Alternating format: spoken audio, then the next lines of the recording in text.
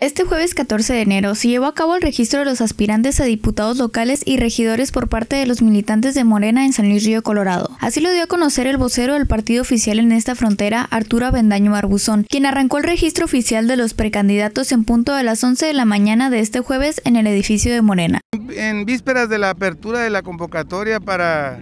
que todos los que están interesados en, en participar en cargos públicos en estas elecciones del 2021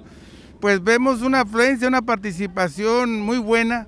de, quienes desean este, estar dentro de lo que es ahora la, cuarta transformación. Asimismo, el morenista expuso que dentro de 10 días se comenzará el periodo de registro para los aspirantes a la alcaldía de San Luis Río Colorado, en donde a pregunta expresa sobre si lanzarían al alcalde Santos González Yescas como su candidato para las elecciones del próximo 6 de junio en busca de la reelección, esta fue su respuesta. El reconocimiento de ser la administración que, eh, que más ha destacado en todos los, en todos los sectores,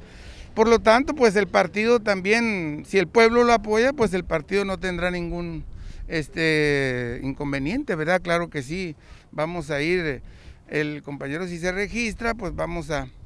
también apoyar. No, no, pero la convocatoria es abierta, se van en estos un par de, una semana menos, unos dos, diez días más, se abre la convocatoria y ahí vamos a saber si existen más aspirantes a, los diferentes cargos, ¿no? Quedando así de manifiesto que lejos quedaron aquellos días cuando Arturo Bendaño exigía la renuncia del alcalde Santos González y lo exhortaba a no reelegirse por ir en contra de los principios de la Cuarta Transformación. Con información de Cristina Arellano, Carolina Sandoval, Mega Noticias.